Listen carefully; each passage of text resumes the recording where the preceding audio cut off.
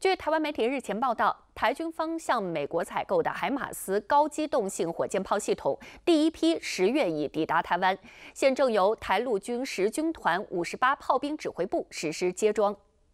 首批海马斯高机动性火箭炮系统十月底台后，现正由十军团五十八炮兵指挥部实施接装。但该单位本身已编制有一个台湾自制的雷霆两千多管火箭连，辖有三个火箭排，每个排有三辆发射车、一辆指挥车与三辆弹药车。海马斯进驻后，以台陆军有限人力而言，雷霆两千多管火箭连将何去何从？要改分配或封存，目前尚无定论。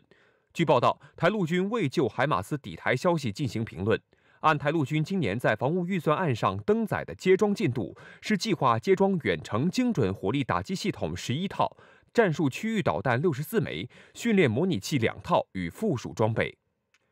据了解，美制 M 幺四二高机动性多管火箭系统简称海马斯，海马斯多管火箭一个发射箱可携带六枚火箭弹或一枚 MGM 幺四零陆军战术导弹，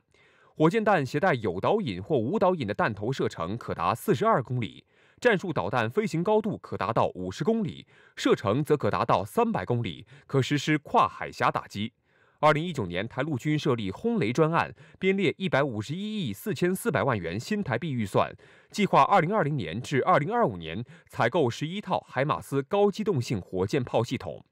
二零二二年，台军方在计划向美采购的 M 幺零九 A 六自行榴弹炮被拒后，再增购十八套海马斯。就在几天前，台防务部门曾将一份美对台军售案执行情况报告送交台立法机构。报告称，这些军售案共计有三项延误，一项超前，其余十五项进度正常。而超前部分指的就是远程精准火力打击系统。